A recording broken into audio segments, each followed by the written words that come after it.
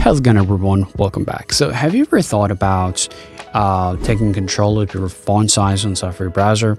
Let's say you want to keep it small or you want to keep it large, then here is how you can simply make your font look small or large right on your Safari browser. It's pretty quick and easy, so let's go. The first way of doing that, you gotta head over to settings on iPhone, scroll down to apps, and here type Safari browser. So like that. Here you can see this option. Let me scroll down, down, down, down here, and you can see there's called Page Zoom. So you can make it like 100%, which is natural. If you want to make it smaller, you can go to 50%, or you can go 100 by 25% and on 50.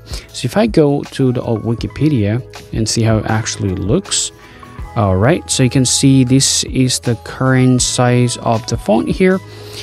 And let's just pull it up to 50%. Come here, let's refresh that. It sometimes takes some time to go do this, so let me type Wikipedia again let's go to the English. So you can see now the tank size is actually very small right?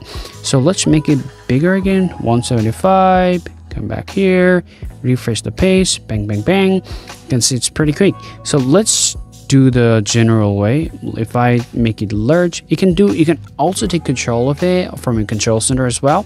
On ios 18 you can add the text uh, size here.